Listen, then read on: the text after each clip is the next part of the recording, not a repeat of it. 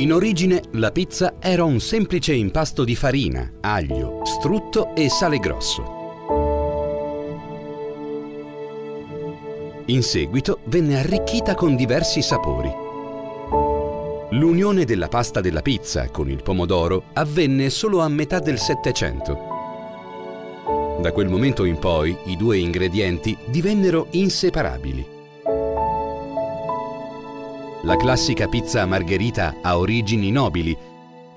Si narra che il pizzaiolo napoletano Raffaele Esposito la creò nel 1889 in onore della regina Margherita di Savoia e del neonato Regno d'Italia,